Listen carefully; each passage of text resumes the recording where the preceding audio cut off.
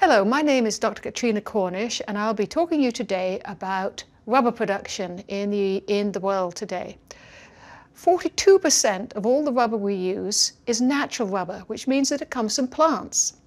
The rest comes from petroleum, which is a non-sustainable version of natural, uh, non-sustainable version of rubber. Now, where does our natural rubber come from? At the moment, it all comes from the tropical rubber tree. And where is that? Well, it originated in the Amazon. This is the Brazilian rubber tree, but hardly any rubber comes from there now, maybe about 3%. And this is because of fatal fungal diseases. And we're very worried in the world that these diseases might spread to the other rubber producing areas. Now, Africa has a fair amount of rubber, but it's not produced very efficiently, and they only contribute about 5% of the supply. So really, the area we care about is Asia. 92% of all the rubber comes from Southeast Asia. These are countries like Indonesia, Malaysia, Thailand, India, and now China is becoming a significant producer. But you need a tropical region. Now, if we look in the Northern Hemisphere, we look at North America, which includes us, Europe, which includes my folks, there's no rubber. All of this has to be imported.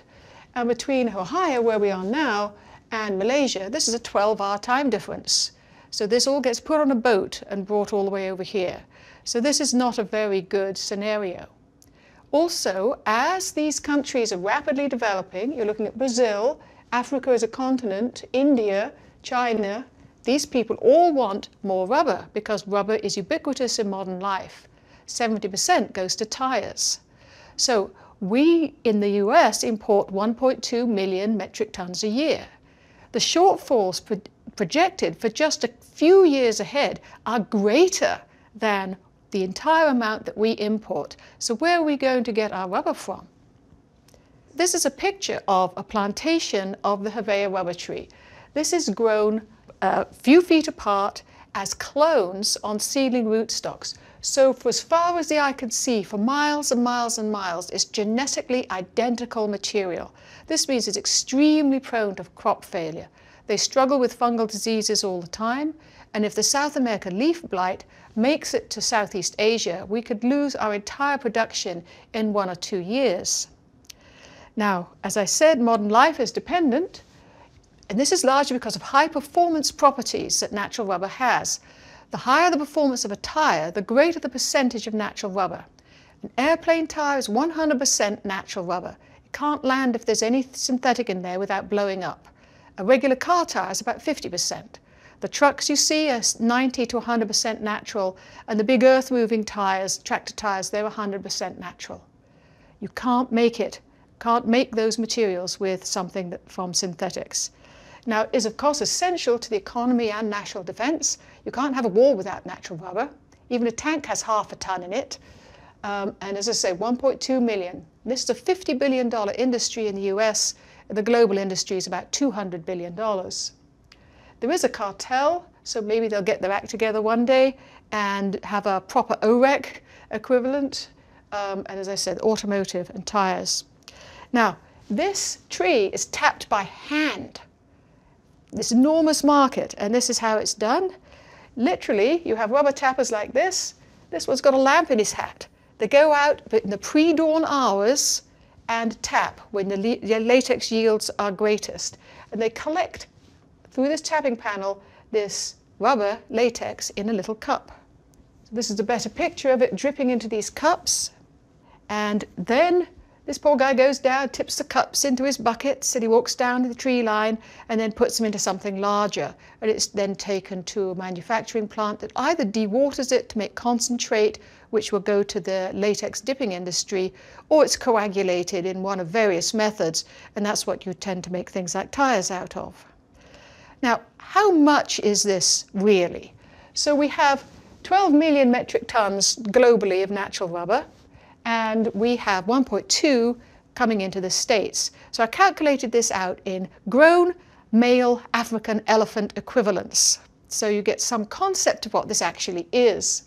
So at the moment, the global supply is about 11 of these a minute tapped in that little cup. You're collected in that little cup by hand.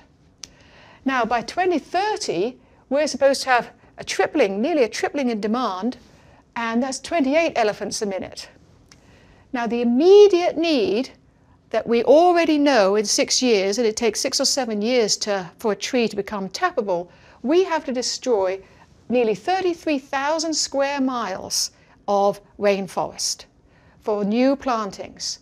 And this is to meet 2022 demand. Now this acreage is the size of South Carolina or Austria. And this is cutting down rainforest in one of the few areas of biodiversity that we have left to us. So this is clearly an unacceptable scenario. The World Wildlife Fund has, has support, is supporting a moratorium on new Hevea plantations.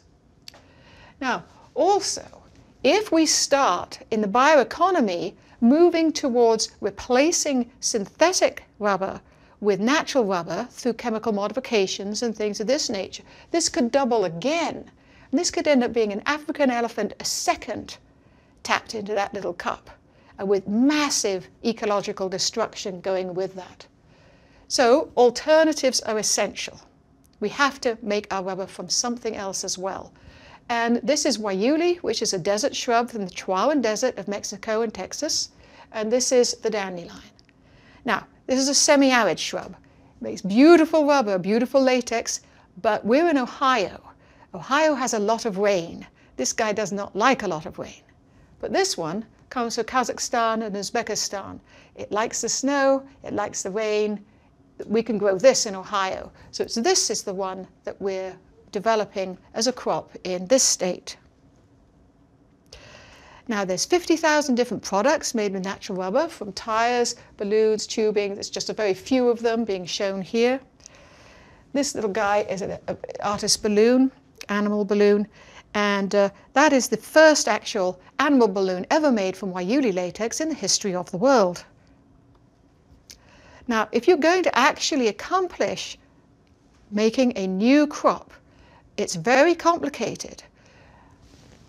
This is, you have to have coordination from plant to product to do this. If you're going to make a new product out of something like corn, you can just call up a trainload. You know, it's already there, the same for soybeans. But if you want to make something out of a new rubber from alternate crop, you've got to grow it first. So we've got a big program in germplasm improvement, you have to also be able to grow it in the field. Weed control and irrigation are the biggies here. We need to have farmers, growers who are actually going to grow it. There's only so much you can put on, a, on an experiment farm. And you have to, how are you going to look after it post-harvest? What is the logistics of getting it from the field to the process? So here you need to have a robust process. We're emphasizing 100% crop production, valorizing every piece. And then you have the factory. This post-harvest has to be delivered to the factory, processed here.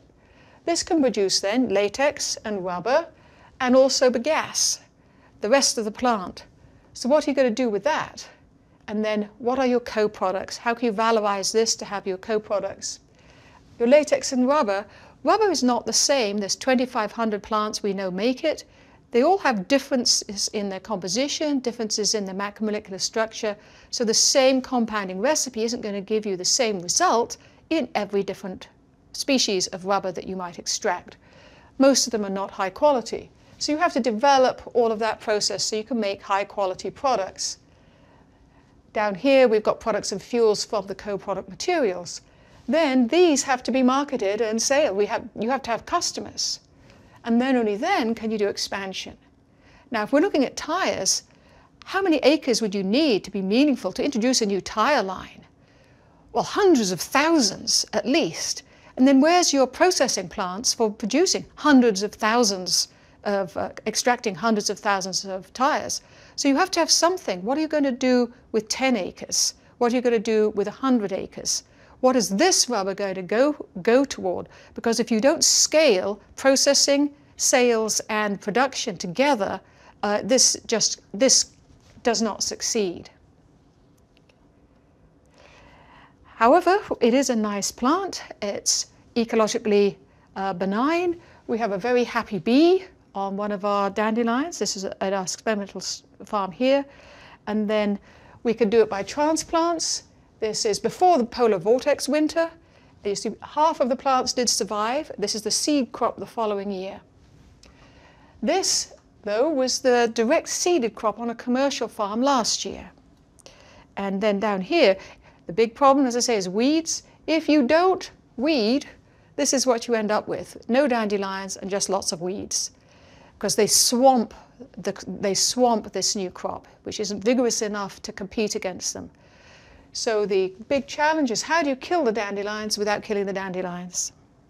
All right, so now that we've gone through this background of what our main issues are to establish a domestic rubber crop in the US, the rest of the class is going to be walking you through parts of that jigsaw I showed a couple of slides ago, showing you examples of how you actually, where rubber comes from this plant, how you quantify it and how you then turn it into uh, rubber products.